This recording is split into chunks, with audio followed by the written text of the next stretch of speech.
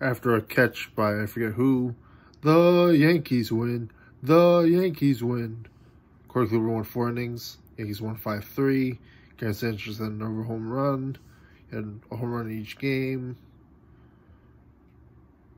Uh, Marcus Semien, phenomenal.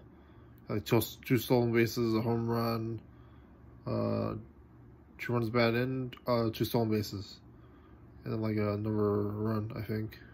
Amazing. Where he saw some scrap.